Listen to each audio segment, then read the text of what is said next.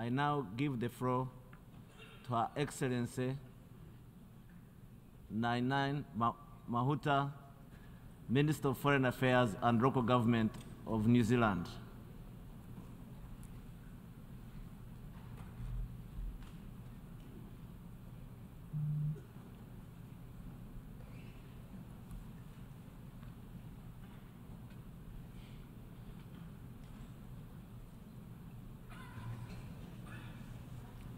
Tahi anō no te koha o te ngira e kuhu ai, te miro mā, te miro whero, te miro pango. Kia mau ki te ture, te whakapono, ko te mea nui, kia mau ki te aroha. There's only one eye of the needle through which the white, the red and the black threads must pass. Hold fast to the law, faith and above all else, love. These opening words taken from my ancestor remind me that no matter where we are from around the world, we are bound by a shared spirit of humanity. Can I acknowledge the Lenape people on whose tribal lands we stand? Tēnā koutou katoa. I've been encouraged by the commitment I've witnessed in this great hall to find transformative solutions to the interlocking challenges we face. At the same time, I'm deeply concerned that the sum of our collective efforts to meet these challenges is falling well short of what is required. We meet at a time of sharply increasing danger for the people and planet. As we emerge from the worst health emergency in the past hundred years, our efforts to build back better have faltered in the face of accelerating ecological and planetary crises, deepening conflict and instability. We are failing to achieve the Sustainable Development Goals. We must rise to meet these challenges. We owe it to our citizens and to the generations that follow us. Mounting distrust and division are eroding the foundation of international cooperation and steering the multilateral system towards deadlock and dysfunction. We have no hope of meeting our shared challenges by going it alone. We live in an interconnected and interdependent world in which we will thrive or perish together. For the first time in several generations, we face the very real possibility of conflict between major powers. President, Excellencies, we cannot let this happen. The stakes for all of us are simply too high.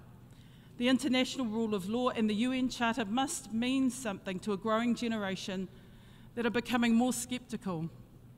We are not on track to keep global warming at 1.5 degrees. Conflict and crises continue to impact most harshly on women and children.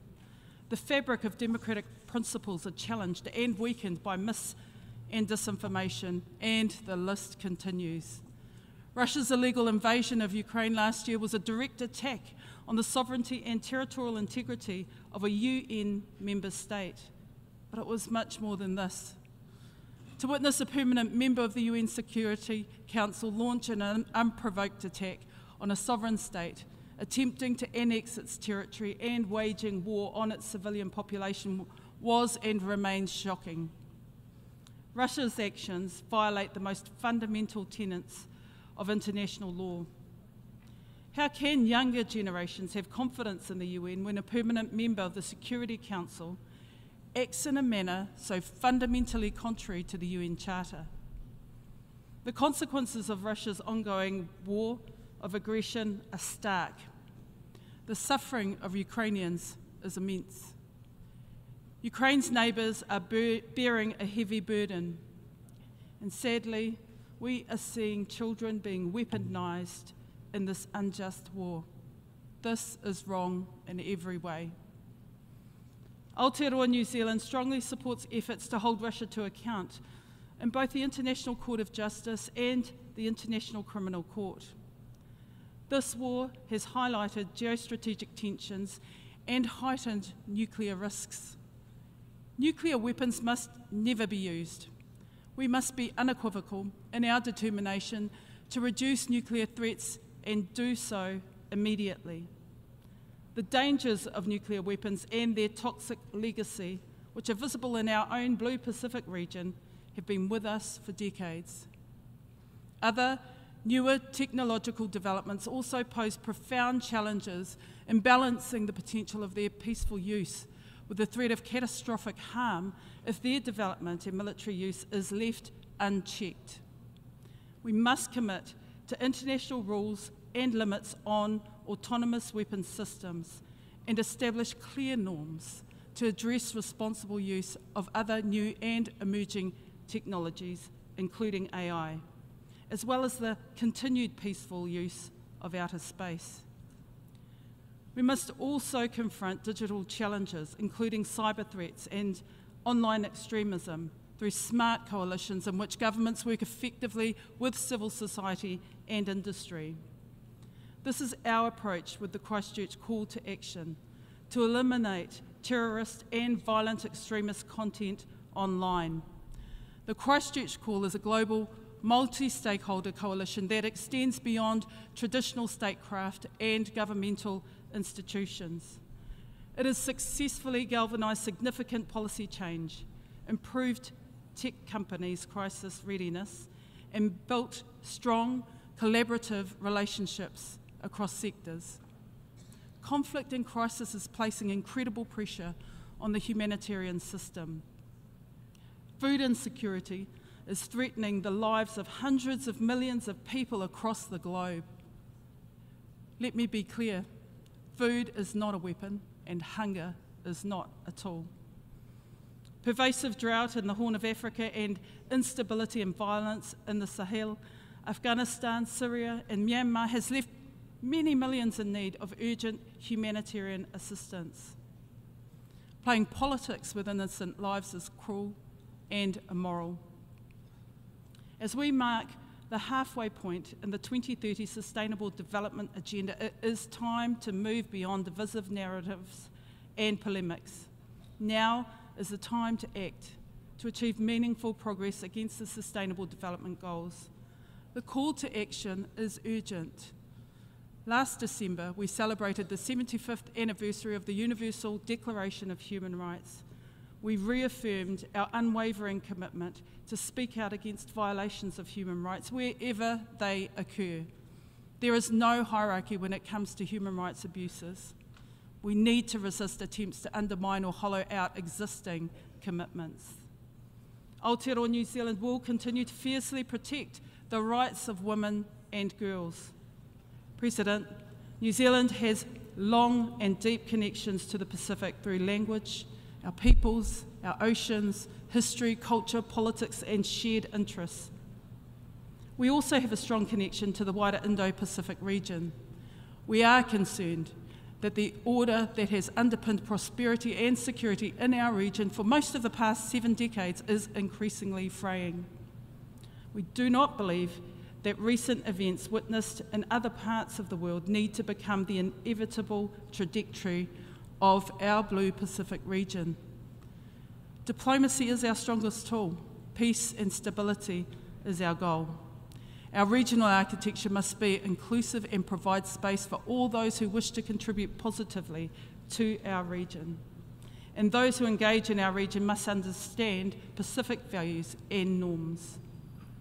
We're committed to promoting the centrality of the Pacific Islands Forum, addressing regional challenges, and through the 2050 Blue Pacific Strategy, that is our roadmap. International partners are encouraged to listen, engage, and contribute to the sustainable development of our Pacific region in a manner that puts priorities of the Pacific first and recognises the independence of those for whom the region is home. The message to Pacific, to partners of the Pacific, is commitment with consistency. Recent global shocks have reminded us that building resilient communities and societies requires a broad and holistic approach to development. Strengthening resilience requires us to value progress across all dimensions of well-being, social, economic, and environmental development are interlinked and interdependent. We must urgently achieve reform that contributes to intergenerational well-being of developing states. And we acknowledge the UN Secretary General's call to find systemic solutions to the shortcomings of international financial architecture. International financial institutions need to evolve to better serve the demands of the current era. We are encouraged to see growing recognition of broader measures of development that go beyond gross national income. Tools such as the development of multidimensional, multidimensional vulnerability index offer opportunities to respond to the realities of those who are most vulnerable to external shocks, such as small island developing states. Sustainable development will only be achieved if the international community delivers on its commitments to those who are experiencing the violent realities of climate change. Climate change is the greatest existential threat facing the planet, our planet. A stable climate is essential to a stable future. New Zealand is committed to playing its part in global efforts to combat the triple planetary crisis of climate change, pollution, and biodiversity loss. No country is immune to the impacts of climate change, which are, real, which are real and happening now. The countries of the Pacific are on the front line and are already experiencing irreversible loss and damage. The Intergovernmental Panel on Climate Change has sent a very clear message that the world is not on track to meet, to meet the goals of the Paris Agreement. With the first global stocktake of the Paris Agreement, COP28 later this year, is an opportunity for course correction. Limiting warming to 1.5 degrees is vital to achieve our shared development goals. Every increment of a degree and every tonne of emissions matters.